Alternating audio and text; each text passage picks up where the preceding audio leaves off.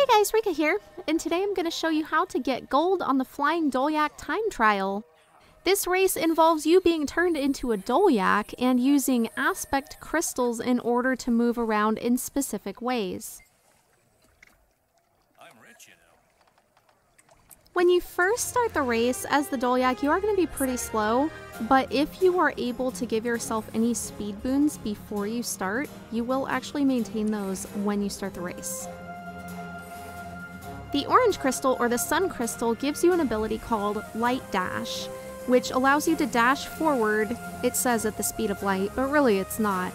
And you do evade any kind of damage for two seconds, which is why you're, you're going to use it for going through waterfalls.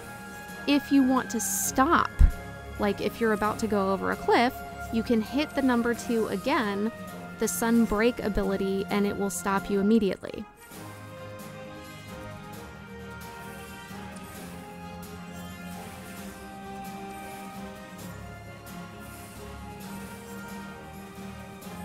The blue crystal, or the wind crystal, gives you an ability called Assisted Leap, which is basically kind of a double jump for the Dolyak.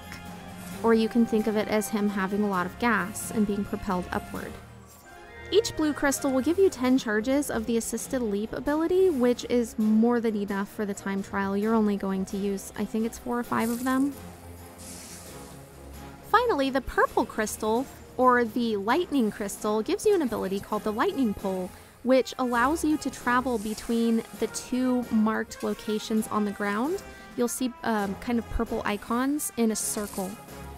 Alternatively, if there isn't one of the purple icons on the ground, you can use your number 3 skill, the lightning pull, and select your teleportation location within 1200 units.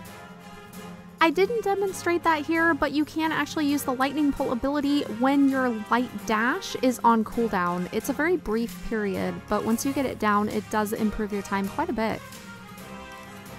It may take you a few tries to get these abilities down, but if you just read them and practice them, you will get this very quickly. As always, thank you for watching. Please do like and subscribe, and I'll see you in the next video. Mm.